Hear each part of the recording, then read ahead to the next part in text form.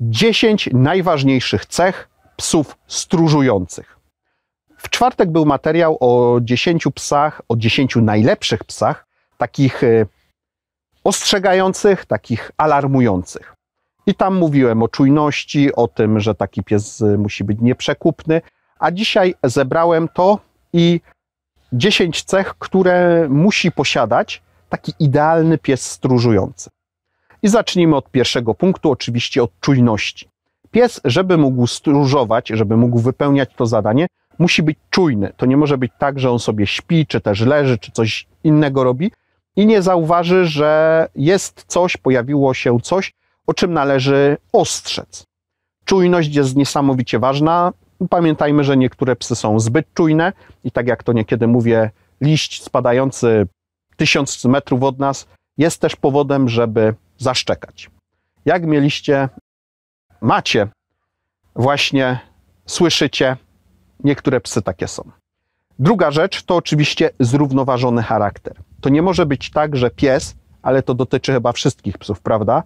Może mieć charakter, który oznacza, że on właśnie będzie takim szczekliwym, ujadającym psem, który szczeka, żeby szczekać.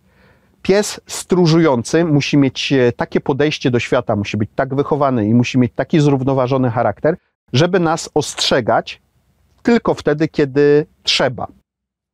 To nie może być tak, że on szczeka, kiedy mu się spodoba. Nie. Pies musi być psem. Pies stróżujący, żeby być dobrym psem, psem stróżującym, musi o nas ostrzegać tylko wtedy, kiedy jest taka potrzeba. On ma nas ostrzec, obszczekać coś, e, tak bym to może ujął, niezbyt ładnie, wtedy, kiedy trzeba. A tu potrzebny jest zrównoważony charakter. A teraz przerwę i zaproszę Was do ocenienia, skomentowania, polecenia i do wsparcia. Patronite, postawienie symbolicznej kawy, linki w opisie. Bardzo dziękuję za wszelkie formy wsparcia. Chcesz wspierać rozwój tego kanału, to, że pojawiają się w miarę regularnie filmy, zapraszam do wsparcia. Trzecia rzecz, nieszczekliwość, to znaczy nienadmierna szczekliwość. Pies stróżujący też nie może być psem, który szczeka non-stop. To się łączy z punktem drugim. To nie może być tak, że pies e, stróżujący będzie szczekał cały czas, kiedy tylko mu się spodoba. Pies, który nas ma ostrzegać, ma nas ostrzegać przed czymś, przed czym należy ostrzegać. To nie może być właśnie tak, jak mówiłem wcześniej, że liść spadł, należy go obszczekać że gdzieś przejechało auto, nie wiadomo gdzie, nawet go nie słyszeliśmy, trzeba to pszczekać. Nie. Nadmierna szczekliwość, nadmierne takie podejście, że trzeba no wszystko, dosłownie wszystko, o wszystkim ostrzec, to jest coś, no, co może stwarzać problemy. I niezadowolenie ze strony naszych sąsiadów, co chyba oczywiste. Czwarta rzecz. Samodzielność. Tak, pies stróżujący musi mieć pewien poziom samodzielności, z reguły psy mają dosyć dużo tej samodzielności, żeby móc y, właśnie podejmować samodzielnie decyzje, kiedy zaszczekać, kiedy nie. To się łączy z punktem drugim i trzecim, żeby pies wiedział, kiedy to ostrzeżenie ma przyjść, kiedy należy nas ostrzec. To jest bardzo ważna cecha, żeby pies y, był w stanie sam wybrać moment czy też rzecz, którą, o której należy nas ostrzec. Punkt piąty odwaga. Tak, można powiedzieć, że no, chyba nie trzeba odwagi, żeby kogoś ostrzec. Trzeba. W przypadku niektórych psów, pies, który mm, się wystraszy, pies, który no, pe ma pewne problemy, na przykład nie był w odpowiedni sposób socjalizowany, wycofa się, nie ostrzegając nas. Ta odwaga też jest potrzebna, zwłaszcza gdy ma ostrzegać przed zagrożeniem, które już niejako się znalazło bardzo blisko, które już właściwie zagroziło jemu, a nie jest to pies, który można powiedzieć robi wrażenie swoimi rozmiarami. W czwartek, gdy mówiłem o tych dziesięciu psach e, ostrzegających, większość z nich była nieduża, ponieważ żeby ostrzec, no nie trzeba wielkości. A niektóre te psy no, mogą się wystraszyć i po prostu przestać nas ostrzegać. Szósta rzecz instynkt terytorialny. Pies jednak musi mieć instynkt, odpowiedni instynkt, żeby pilnować jakiegoś terenu i ostrzegać o jego naruszeniu oraz o tym, że coś temu terenowi może zagrażać. Bez przesady, Nadmierny instynkt terytorialny może być problemem. Niektóre psy mają też problem z tym, że to terytorium, którego chcą bronić, jest zdecydowanie większe niż teren, którego powinny bronić. To niekiedy jest gigantycznym problemem, zwłaszcza gdy taki pies ma możliwość się wydostania, no i staje się po prostu niebezpieczny. Ale ten instynkt terytorialny, bez przesady, jest jak najbardziej potrzebny, żeby pies wiedział, że tego obszaru, tych ludzi trzeba pilnować. Ale z tym problemu raczej nie ma. Siódma rzecz. Duża podatność na szkolenie, i to nie chodzi o to, żebyśmy go nauczyli sztuczek, tylko żeby ten pies był podatny na nauczenie go, jak ma się zachowywać, jak ma reagować i kiedy ma nie reagować. Ponieważ niekiedy pies no, nie musi, nie powinien reagować.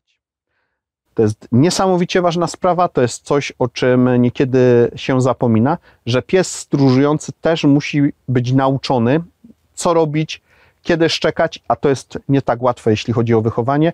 I żeby nauczyć go, że gdy już zidentyfikowaliśmy zagrożenie, żeby go na przykład uciszyć, uspokoić.